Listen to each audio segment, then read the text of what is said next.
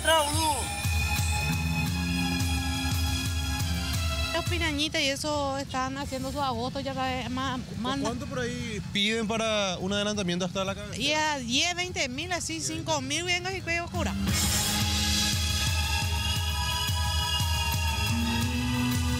Si bien no es ningún secreto que acá en la zona primaria de Encarnación muchas personas se dedican a cobrar para adelantar los vehículos, es la primera vez que un sujeto es detenido por esta acción. Se trata de un argentino que quedó en evidencia gracias a imágenes captados por otros conductores en el momento en que recibía una suma de dinero para realizar este adelantamiento. Atrás, boludo.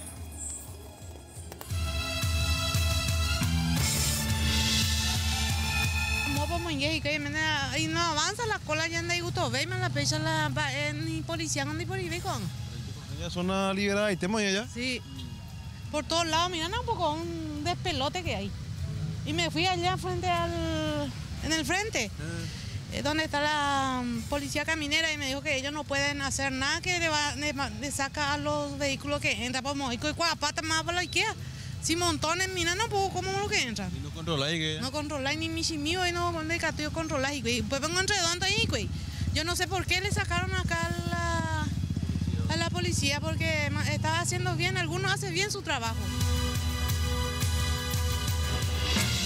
de un video publicado en las redes sociales, tuve conocimiento del hecho y se comunicó al agente fiscal de turno, la abogada Zulma Britos, quien dispuso la detención preventiva de esta persona, por lo que se procedió a la búsqueda del mismo, logrando ubicarlo, quien se encontraba en el sector de fila de vehículos sobre la avenida San Roque.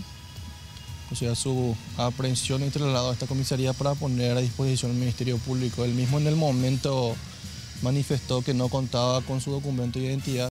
Posteriormente fue identificado tratándose de Rodrigo Fabián Monzón Gamarra, de nacionalidad argentina, mayor de edad, domiciliado en el barrio Pacocuá de esta ciudad. Y referente al adelantamiento se pudo observar en, en el video publicado en las redes sociales que aparentemente él estaba adelantando en forma irregular los vehículos, ingresando en la fila de vehículos y posteriormente recibiendo un pago por los conductores. La zona está prácticamente liberada para la realización de todo tipo de actos ilícitos y la ley del más fuerte es la constante aquí en la zona primaria de Encarnación, una situación que lastimosamente va de mal en peor.